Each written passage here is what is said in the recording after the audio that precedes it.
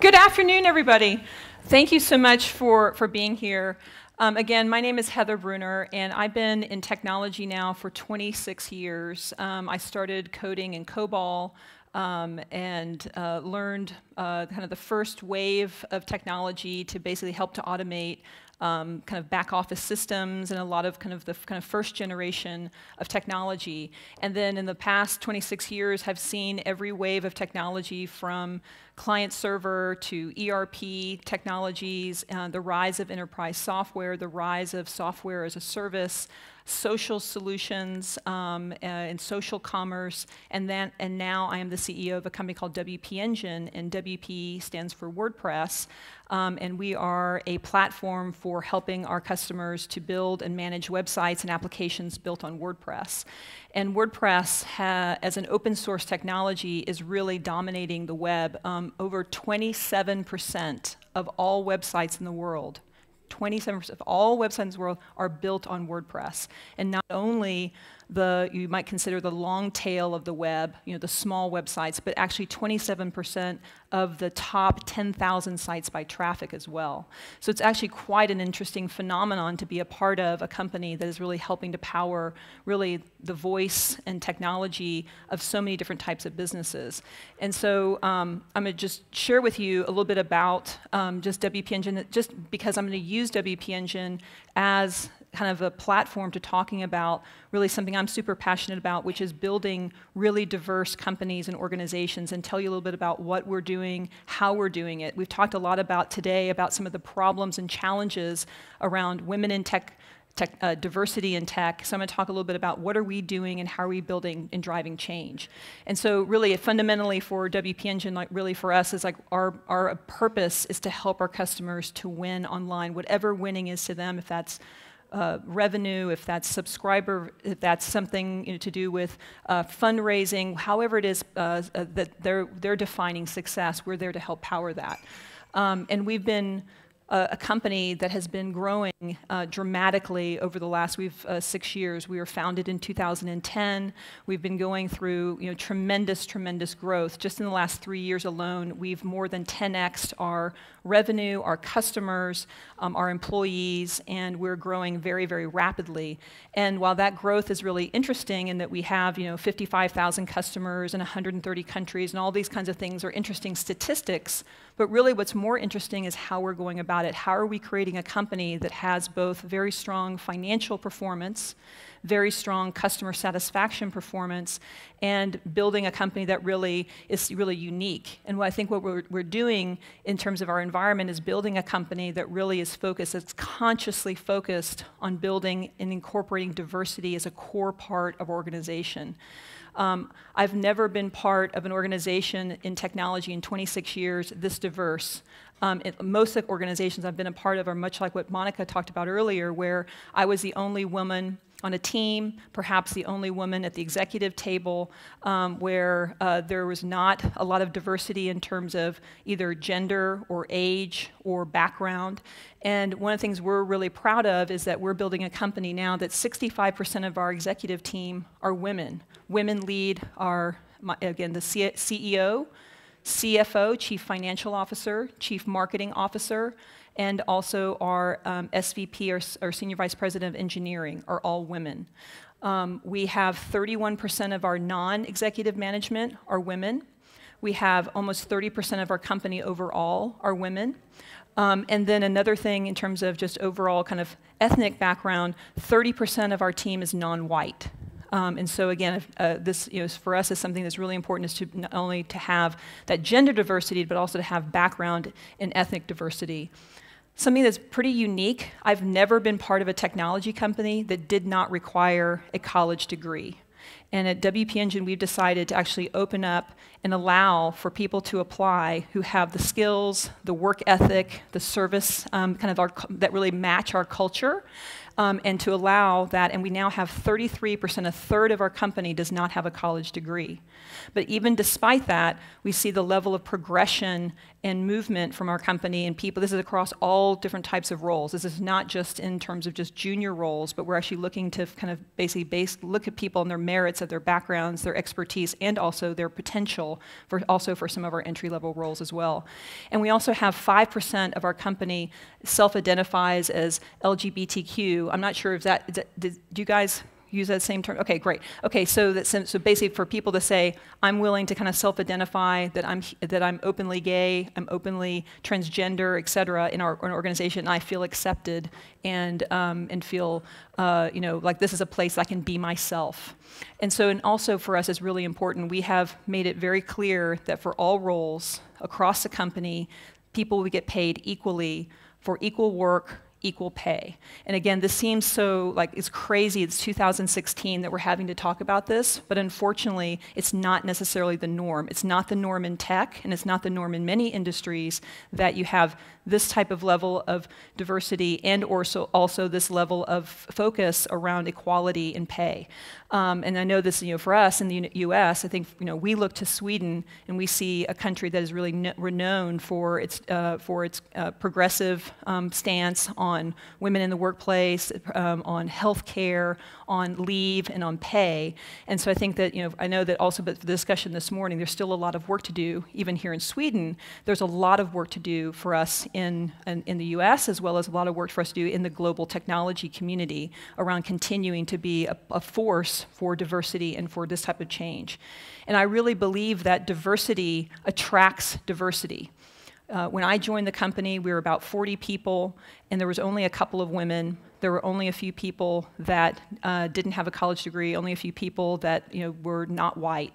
Um, and so one of the things that we saw is as people, um, we started to hire people and kind of open the aperture for what we would allow in the company or kind of accept or kind of welcome into the company, we saw that more and more people then, as they found this being a place that they could be themselves, really focus on our core values, that they would then attract and basically refer other people. So actually, almost 60% of our employees come referred from another employee. So again, there's a very powerful effect um, around that, around helping people say, "This is a place I want to work. This is a place where I can be myself. This is a place where I can be, I can grow, I can advance," and then attracting and really energizing other people to come and look at the company.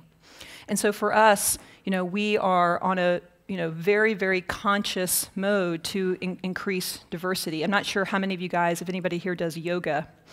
Um, a couple of people do yoga. Okay, well, my instructor, I'm a, i love yoga. Fabio, I don't believe you. Um, so, uh, uh, so my instructor always opens up every class with set an intention for your practice today. Set an intention for your practice. So again, like that for us, it's like I think for all of us here, you know, you here who are leaders, who are entrepreneurs, who are, um, you know, folks who are really driving change in your business, set an intention for diversity. I hear a lot from folks like, well, how do you add more women? How do you add more people of color? How do you how do you attract more people? Well, first off, you have to be intentional that that's what you want, and you have to basically say it out loud in how you communicate to the world about your brand, about your company, to whether it be to customers, whether it be to recruiting, whether it be to your employees, and say we're setting an intention that we, we desire to be an accepting, open, and diverse organization. So I think that that's you know, really, really critical in this journey. And I think another thing for us is, you know, it's, you know, our, we really believe and we've taken time um, to, to really say, these are our core values as a company. And I'll share, some, share them with you a little bit, not in a lot of detail, but just hit some of the highlights. But really for us is like really a big part of embracing diversity is that people actually feel like their voice can be heard, that, that it, they really do matter, and that they can be themselves. Um, and so, because if you can say, well, oh, we welcome women, but then as soon as you, you're there at the workplace, you get shut down, you get, you know, you don't have opportunity, et cetera, or that I come into the organization and I'm gay and I, my uh, opinions or my beliefs, I feel like I have to hide it. Well, that's not creating diversity because it, it basically that basically shuts down what, the very thing that we're trying to embrace and to try to make to drive that difference. So really, for us, our core values really are at the heart of how we think about creating that diverse background. So our first value, and I'm not going to go through all this, I'm just going to kind of hit what I think is a, a highlight here, but our first value is do the right thing.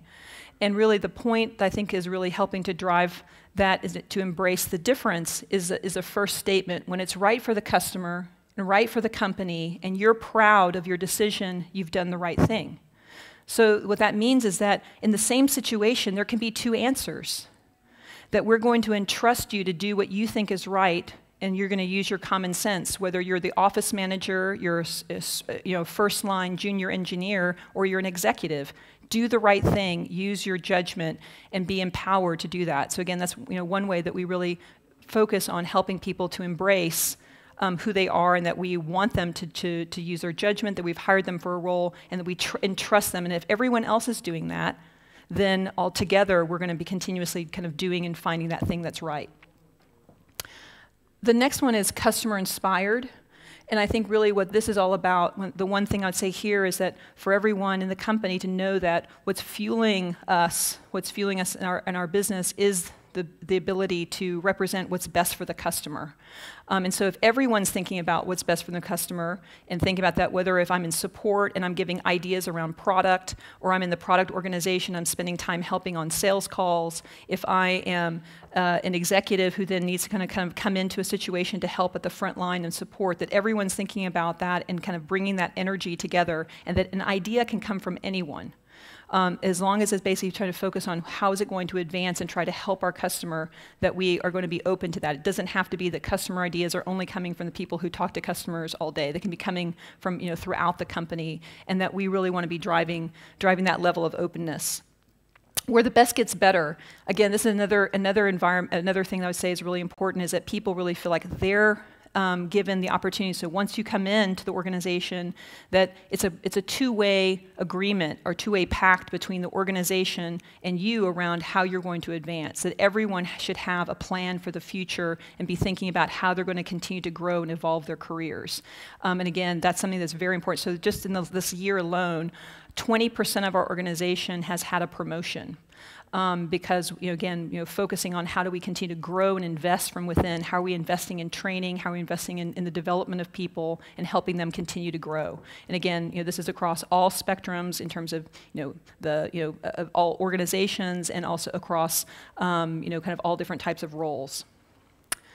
Built, built to last. This is a, you know, kind of like for us, what this, you know, for me really um, kind of focuses on is what's important, you know, that we're having a long-term relationship with, with our employees, that we're in it for their success, their success is our success, and that we're thinking about building that long-term um, point of view over time, um, both with them in terms of as employees, but with our teams, with our company, with our customers, and kind of taking that long-term perspective that we're invested in their success. And I think, again, that comes back in spades from our, from our employees and their excitement. They're, they're feeling like we're really investing in them.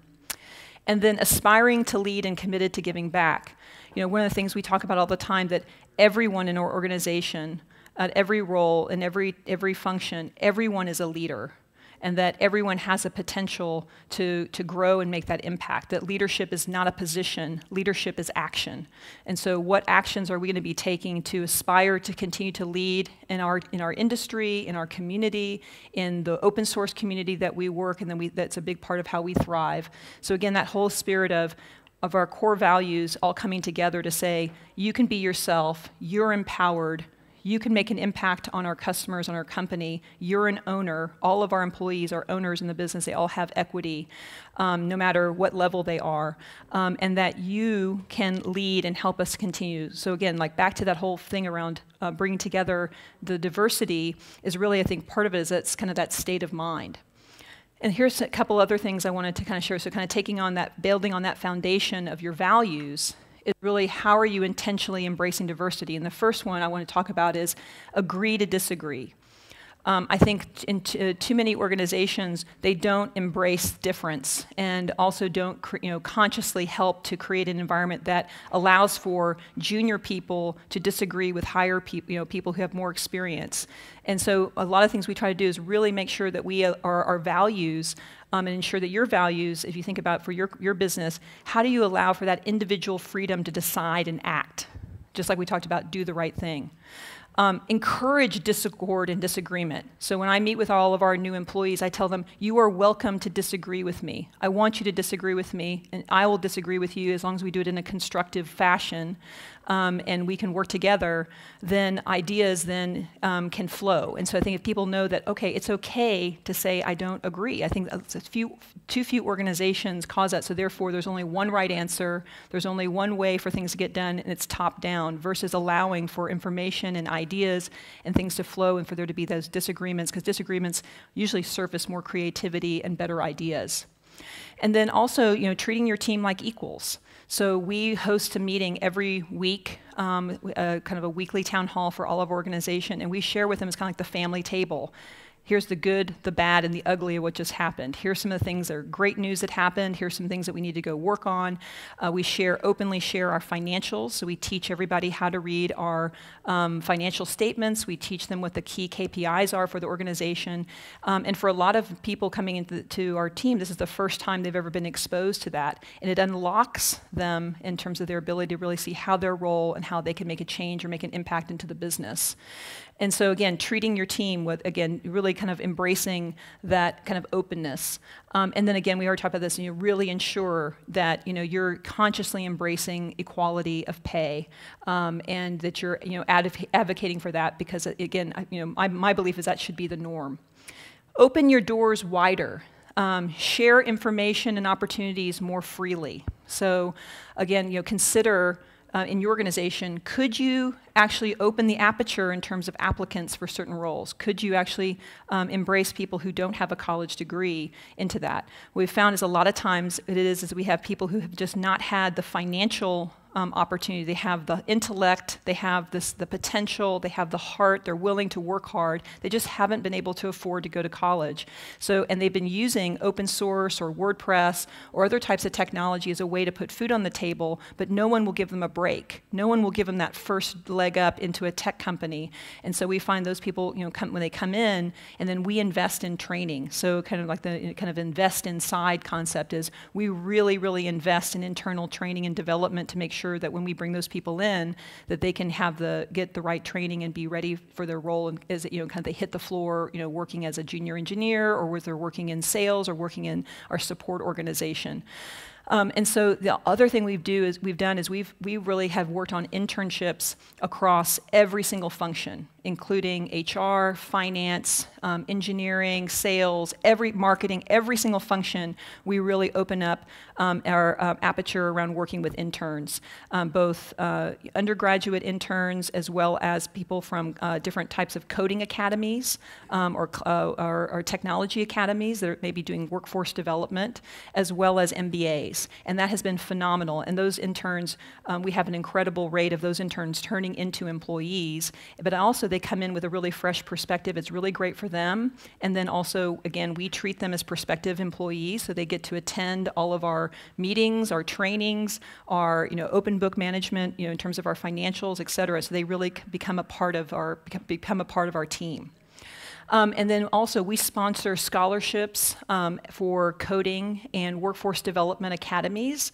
Um, and that's been another really great partnership for us with the community to find people that, again, maybe have just not had enough opportunity that are trying to get that leg up uh, for themselves. And so, how we can sponsor scholarships for those people and then perhaps then give them an opportunity to become an intern, et cetera, with our organization. And again, that's been a phenomenal partnership and I talked about this before. Again, when I first joined, when our CFO first joined um, our team, I told her, we're going to practice open book management. And she was like, what?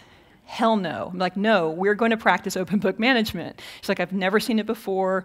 How we do it? I said, well, because we're going to teach. We're going to teach our employees how to read a financial statement. And we're going to keep teaching, and we're going to keep teaching and keep repeating and show them how this how, how it works. And trust me, they're going is going to create an incredible return because people are going to know and be able to see and put their role into context and be able to really understand the business. So if we share with them how we're doing our financial performance, we share with them our strategic priorities, we share with them um, you know, the, how things are going and what's going wrong, not going right, um, together, everyone's going to be more motivated and more energized to go and help drive our drive the business and to drive really fantastic results, which we have seen in spades. You know, in terms of our business, we've been very fortunate that our employees are constantly thinking about how to make things better.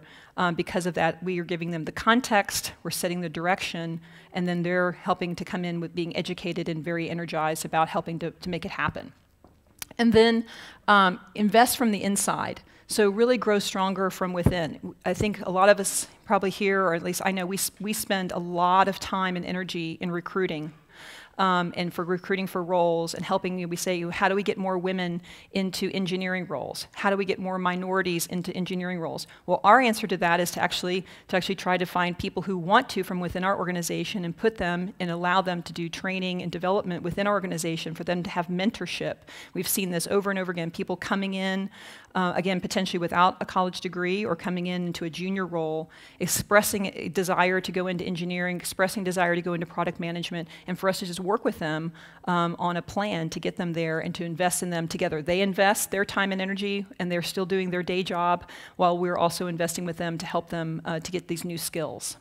Um, we invested in the learning and development team at 40 people we hired our first, or maybe it was 50 people, but at 50 people size company, we hired our first person focused on learning and development because we knew that a key part of our the way we were going to be able to grow was we were going to have to kind of grow from within and to, to be able to teach and train people not only functional skills but also building in leadership development uh, as well as management programs for people across the company as well. Um, so that's been another, you know, a, another big area of focus. So how do we continue to invest and groom our people from within to allow them to take on bigger and bigger responsibility and more opportunity? And then that also creates, you know, different pathways for people then to give back and for people to then mentor others and to help you know help the next person kind of get a leg up um, across and promotions across teams. So again, you know, the, these are you know what I wanted to share with you some kind of practical ideas and some things that we've done that we've seen really great success, and I'm sure there's lots of other things in the future that we continue our journey. Um, but you know, I think these are some things that you know people say, you know, how do you, what are you doing over there at WP Engine to have those kinds of those kinds of statistics? And I just wanted to share these are some of the things that we're doing.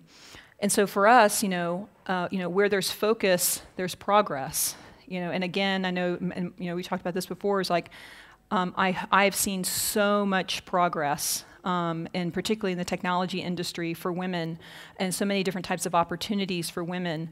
Um, you know, uh, in, in my 26 years in technology, and I think we're we've got so much headroom again to be a, an, an industry that really drives change, um, that really is a leader in diversity and really making sure that there's opportunities for everyone to succeed uh, and have that opportunity to, to grow. And so again, I think that that really here, if we think about everyone who's here the power of the internet, the power of the work that all of you guys are doing. Um, you know, how can you drive change? How can you be thinking about what's maybe one or two things you could do differently to really create an opportunity for more women to thrive, uh, more diverse people to thrive in your organization? And so, with that, um, thank you very much and appreciate the opportunity to speak with you.